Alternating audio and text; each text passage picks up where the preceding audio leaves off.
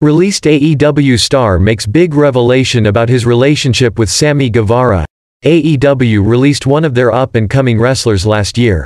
But the masked competitor has recently revealed how some of the friendships formed in the all-elite locker room have lasted despite departures and other changes. The released star in question is Fuego del Sol, who debuted for AEW in June 2020, starting with a 34-match losing streak. He eventually challenged Miro for the TNT Championship on Rampage in August 2021. After the match, Sammy Guevara offered his best friend an official All-Elite contract and announced that he had joined the main roster. Fuego worked around the lower part of the card until being released in June 2023.